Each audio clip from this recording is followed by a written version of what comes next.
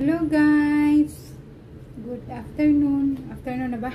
Alas 12. Ano na pala? Alas 12.20. Hi! Welcome guys! Welcome to my channel. Welcome back. Long time no see guys. Kasi ang daming pinagdaanan sa buhay guys. More than a month na akong hindi nakapag-vlog kaya ito muna ngayon kasi magchichika tayo habang kumakain. Ayan guys, so yan pala yung lunch ko. Ayan, may sausawan. Ayan, nagprito ako. Tapos may sinabaw na ano, na prawns. Nilagyan ko ng beans at saka spinach. Siyempre, kanin. Hello, hello! Musta na kayo? Namiss ko kayo guys. Ang tagal kong hindi nakapag-vlog. Almost a month na. I mean, more than a month na guys. Excuse me. Grabe, daming ganap guys. Hindi ako nakapag-vlog. Hindi ako nakapag-update. Kaya, sorry. Kaya ito, balik na naman tayo guys. Chika tayo guys. Bakit? Hindi ako nakapag-vlog kasi start ng ano guys ng April 29 yun. Simulan ko ng April 29 kasi nung time na yon gabi ng April 29 is inatake yung chan ng ano, I mean inatake yung sakit ng chan ko hindi ko akalain na may appendicitis pala ako. Kasi ever since hindi ko hindi ko nararamdaman ng ganun katinding sakit. Nung time na yon nung gabing yon ang sakit ng tiyan ko. Tapos parang dinadala ko lang ba? Kasi akala ko normal na ano lang normal na sakit. Kaya parang idaan ko na lang sana sa tulog or ano pero, sad to say, hindi ako nakatulong ng buong magdamag. Kaya, kinabukasan, kahit wala akong tulog, pumasok pa din ako guys. Pero parang, ano ako, lutang. Kasi walang tulog, nagsusuka ako. Tapos, nung time na yon sabi ni Amo, mag ano, nagpa-check up daw ako. Kaya, nirefer niya ako sa sa doktor niya na specialista. Tapos, yun. Dalawang araw akong hindi nakapasok kasi nagsusuka ako. And then, after nun, tinulerate ko lang siya. Medyo nawala-wala na yung sakit sa tiyan ko. Tapos, hanggang umabot ng 10 days. Nag-stop na yung sakit niya is yung dito sa right side. Sa right side siya guys. Sa right side siya sumasakit. Kaya sabi ko, talagang nagsabi na ako ng masinsinan sa amo ko. Sabi ko, ma'am, ang sakit talaga na bandang right side ng tiyan ko. Kaya yun, nag, nagmamadali si ma'am na i-book ako sa I mean, tumitingin siya kung saan yung hospital na hindi masyadong maraming pila. Ito sa, dito sa ano, CSJ, I mean, sa something na hospital dito, bali, government hospital siya. Kaya doon ako. Nang habang nagpapa-check up ako, guys, nagwe-waiting ako. Ayan, pumipila na ako doon. Nag-start ako doon ng alas 12 ng tanghali. Hanggang umabot ng alas 2. Ayan, kinuhanan ako ng blood test. Tapos, nag-x-ray ako. Sabi ko, ano ba itong nangyayari sa akin? Bakit ginaganon? Eh, sakit lang naman ng tiyan. Hanggang umabot ng gabi, hindi pa ako nakauwi guys. Hanggang may swero na ako. Yan. Ayan. May swero ako. Tapos, hanggang minomonitor nila yung ano ko, nung blood test ko, hinahantay ko yung result, eh, ayun, nagkaanuhan na, nagkaalaman na na may severe anemia din ako, mababa yung hemoglobin ko kasi kaya medyo kinabahan ako. Sabi ko, ano ba to? Parang hindi na ako makauwi ah. Kasi alas 7 na ng gabi, nandun pa ako. Tapos may swero na. Hindi pa rin ako pinainom ng tubig, hindi ako pinapakain. Kaya nagre-reklamo ko sa nurse baka, ano, sabi ko, baka gusto kong uminom ng tubig. Sabi ng nurse, hindi daw pwede. Kaya nga may swero na ah. May dextrose na para hindi daw ako gutumin. Hmm. Antay pa din ako ng antay guys. Nag-swab test na ako. ECG ako. Tapos may ano pa. May tawag dun.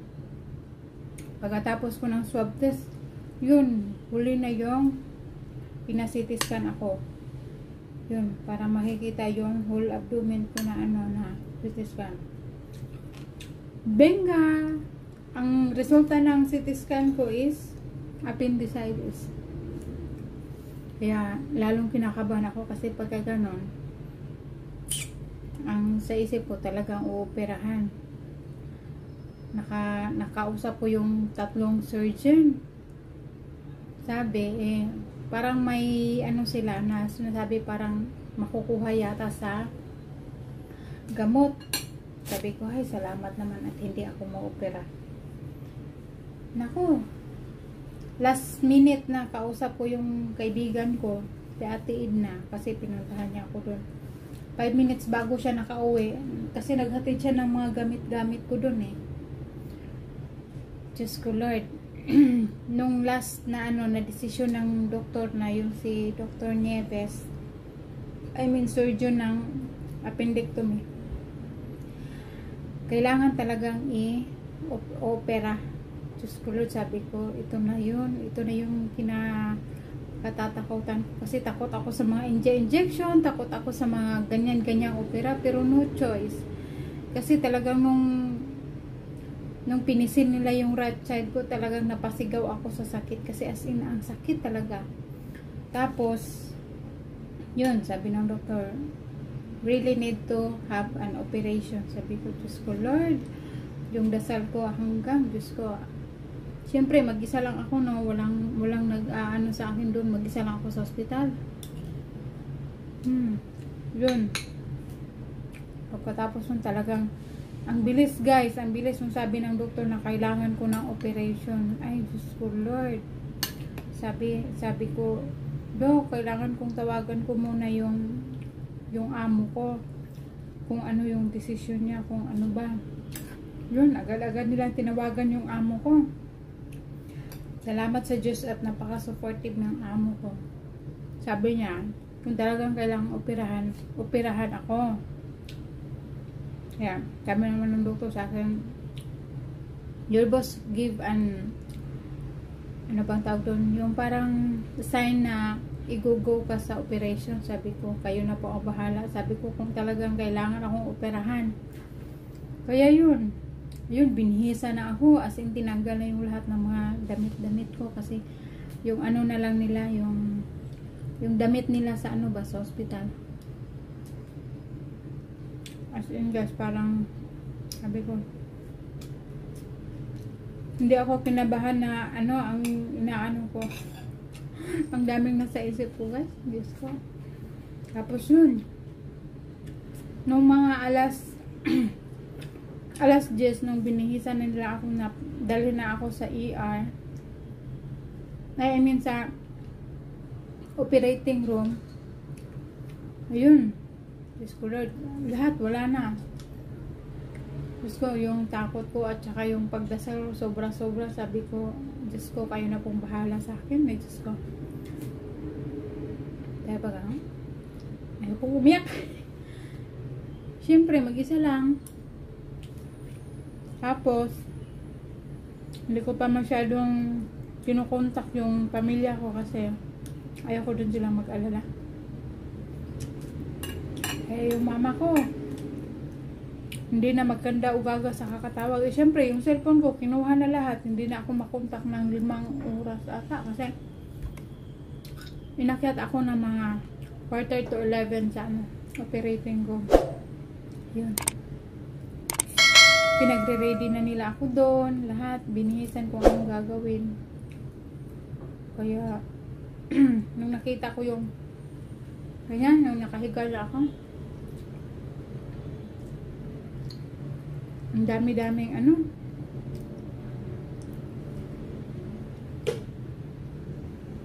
Many tic-tacs later. Soon after. Later. May tumawag kasi guys. Kaya naputol. Ayun. Sana ba tayo? Yun. Yung nasa operating room na ako. Siyempre, nakahilata na. Nakikita ko na yung ang dami-daming mga ilaw-ilaw. Siyempre, first time kong nagkaganon. Eh. Sabi ko, Diyos ko Lord, kayo na pong bahala sa akin.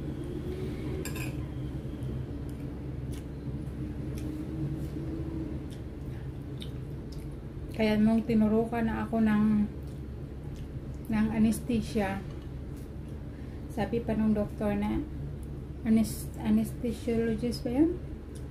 Sabi niya, okay, you count 1 to 5. Tapos na akong tinurukan. Sabi niya, okay, mag-count ka ng hanggang 1 to 5.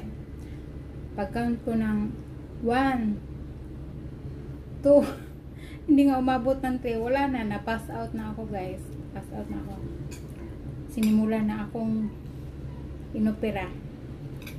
Kaya nag-start ng mga 11.30 ata yun ng umaga. Natapos ng 1.30.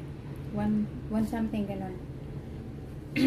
Kaya nung habang nasa nung na, natapos na akong inoperahan, hindi pa ako nilabas sa operating room nung parang nakamulat na ako, parang may ano na, nakikita ko pa yung ang dami-daming mga ilaw-ilaw. Parang sabi ko, parang nasa loob kasi naka, ano pa ko eh, naka, ano ba tawag doon, naka-oxygen.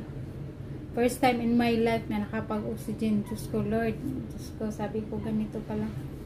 Oxygen ako, tapos nung minulat ko yung mata ko, ano, mm, Andun pa rin yung mga ilaw-ilaw, parang inaano pa ba, nilinisan pa yung tiyan ko, kung ano. Pero parang talagang gusto ko pang matulog, ganon, para bagang naano pa ba, parang sa Bisaya pa, naalimungawan ka pa ba. Tapos yun, na, na, natulog ako ulit, nilabas na ako, tapos minarest ako ng sandali doon sa kabilang room. Yun yun. Nung nilipat na ako sa kabilang room mainit-init pa yung ano yung tawag yung kumot na pinaglagay sa akin kasi naka-sterilize pa. Tapos natulog pa ako saglit ng mga 30 minutes. Tapos sabi ng nurse magpahinga daw muna ng mga isang oras. Kaya nakalabas ako sa doon sa OR yung sa kalapit na kwarto ng operating room, mga 2.30 na. Kaya nun. Pero nakabihis na ako yun. Hanggang binaba na ako doon sa recovery room doon sa kwarto ko. Sabi ko sa isip ko, parang ano, iba yung pakiramdam ko. Sabi ko parang, sabi ko nga, ano kaya yung sinasabi nila pag ino-opera ka, lalagyan ka ng catheter, yung lagayan ng ihi ba? So sabi ko, parang wala naman. Kaya nung talagang okay na yung pakiramdam ko, hinanap-hanap ko yung, yung catheter na sabi nila na ano, sabi ko, parang wala namang nilagay. Ang nilagay lang sa akin is yung parang ma, maliit na bote, yung plastic siya na malambot. Yung sa may pinag-operahan ko sa baba ng ano, sa ibaba ng pusod. Ano ba yung dito? Yung sa may belly button ba sa baba? Kasi parang yung kuhanan ng mga dumi-dumi ng mga dugo nung pinag-operahan. Kaya yun. Kasi tatlo kasi yung sugat ko. Yung sa belly button, sa baba ng belly button at saka sa left side. Ang tawag doon is lapar laparoscopic appendectomy. Ano? Tatlo yung butas niya. Pero mga maliliit lang yung incision niya yung ano niya ganyan o ganyan. Yan. Tatlo lang siya. Tapos yun, habang nag-aano, habang nagpaparecover ako parang 3 days 3 days ata ako. Tapos inano na ako. Discharge. Ang hirap guys. Ang hirap magkasakit dito sa ibang bansa. Grabe oo may mga may mga friend kang makapagdalaw pero hindi yung tulad sa Pilipinas na talagang may mag-aalaga sa'yo 24-7 dito hindi. Bawal. Oras-oras lang yung pagdalaw. Tapos yun yung yung lagi nilang chinecheck yung ano ko yung yung blood pressure ko. Ang baba kasi may an- anemic anemic pala ako kaya sabi ng doktor malakas ba daw akong magregla kasi kalimitan sa mga anemia. May mga ganyang case sa mga kababaihan. Ang daming ano kaya silaninan ako na I mean inanuhan ay inabunuhan ako ng dugo guys dalawang bag. Sabi ko hay Diyos ko Lord ganito pala yun. Kaya yun nung habang inaano nila ako chinecheck nila palagi yung blood pressure ko yung hemoglobin ko kasi ang baba nga. Hindi pa pwedeng ilabas pagka hindi ka masyadong okay.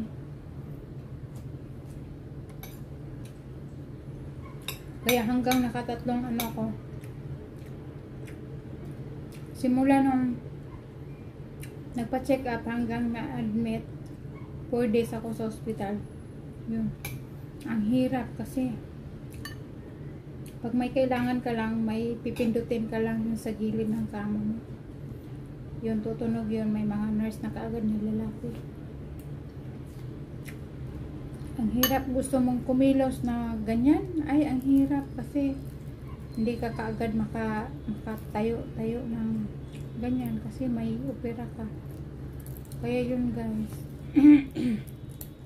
Yun ang story ng buhay-buhay ko dito kaya hindi ako nakapag-vlog alam nyo yun nung, nung Mother's Day Mother's Day talaga yun nag-start na sana akong mag-vlog ayan may ano pa ako Hello may kunting Good morning. may kunting vlog pa ako na bago ako pumasok Happy Mother's Day.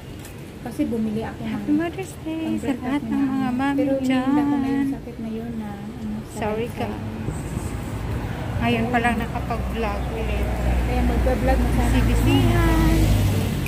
Ayan, kahit na linggo, Mother's Day, may trabaho pa din. Pagkatanghali na din na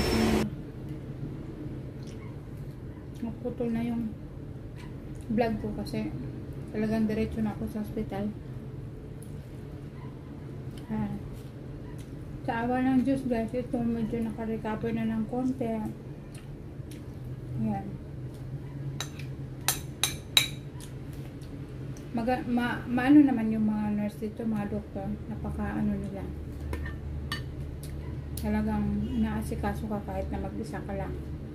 Pero iba pa rin talaga pag may pag may pamilya kang nasa tabi mo. Parang gusto mong gusto mong umiyak pero hindi pwede. Kaya yung mama ko nung time na yun, ay nako nung natawagan na nila ako kasi siyempre binalik na yung mga gamit ko. Cellphone talaga yung inuna ko ang nakilap ko. Handa nyo? Nasa 30 plus na miss call yung mama ko sa ano? Sa imo. Sa imo apps. Tapos pag-check ko doon sa ano, pag-check ko doon sa messenger ko, doon din, ang dami-daming tawag ni mama. Diyos ko Lord. Siyempre, sino ba namang parents na hindi mag-aalala? Kasi alam naman nila na nasa hospital ako nung day na yun. Pero nung hindi na nila ako makontak, lalong nag-aalala sila. Siyempre, hindi ka naman pwedeng magdala ng cellphone dun sa operating room. Tinanggalan ka na nga lahat. Kaya yun, ako din hindi ko akalain na ma-opera ako. Kasi, sa tanang buhay ko, never pa akong na-hospital ng ganun.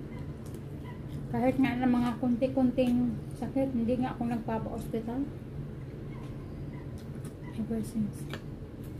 Kaya, ingat-ingat tayo guys kasi mahirap magkasakit talaga kasi lalo na kami yung mga mga OFW na mag-isa lang sa buhay ay nako ang hirap kaya ingat lagi I'm, I'm so very thankful sa amo ko. Hindi rin niya ako pinabayaan kahit busy sa trabaho si ma'am. Laging nag-update sa akin. Go pa rin ang go kung anong anong pwedeng gawin sa akin para para mawala na yung sakit na nararamdaman ko sa mga kaibigan ko. Maraming salamat sa mga prayers nyo. It really helps nung time na talagang kailangan ko ng prayer. Salamat sa Diyos at nakarecover na rin. Kaya isang buwan na isang buwan na ako. Simula nung na-opera ako guys. Grabe hirap. Tapos dito sa pag uwi ko galing sa hospital syempre ako lang mag-isa dito. Pero nag ano naman ako sa, sa amo ko na may mga friend akong dadalaw pinayagan naman ako. Ayun. Salamat sa lahat ng tumulong. Kay Macloret, kay Ate Edna, lahat-lahat. Salamat. Kay Ate Lisang thank you very much sa maagarang pagkadating ko dito eh, alam niyo na opera ako. Talagang pinadalhan niya kagad ako ng ano ng pineapple juice gatas at saka yung binder ko. Thank you so much ate. Thank you thank you talaga sa lahat. Ayun medyo mahaba-haba na yung story ako guys. Ganun lang. Ganun lang yung nangyari sa buhay ko. Kaya hindi ako makapag-vlog ng ano hindi rin ako nakapag-vlog pero may mga may mga pictures akong i-clip pag ano kung ano yung mga ganap-ganap ko doon sa ano sa hospital. Hindi na ako nag-video doon. Kaya yun.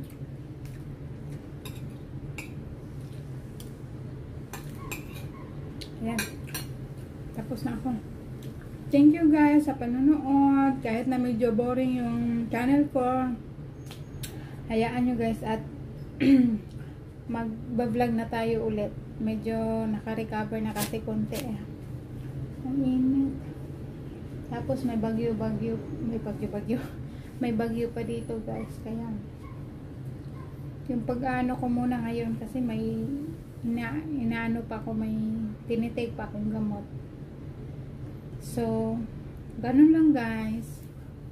Thank you for watching. Salamat sa support kahit na excuse me, kahit na medyo delay-delay yung vlog.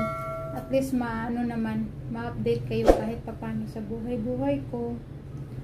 Thank you guys and sana mag-subscribe kayo sa channel ko and don't please don't forget to click the notification bell or para ma-update kayo sa mga upcoming videos ko. Thank you guys. Have a nice day. Mwah.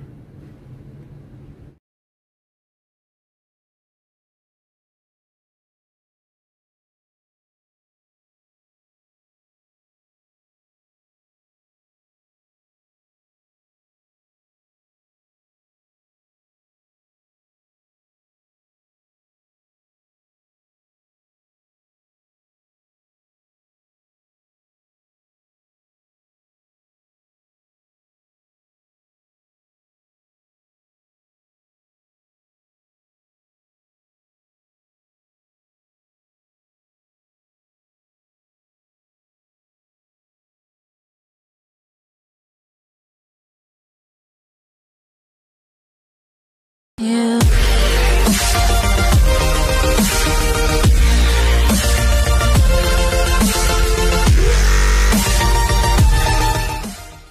you got that yummy, yum, that yum.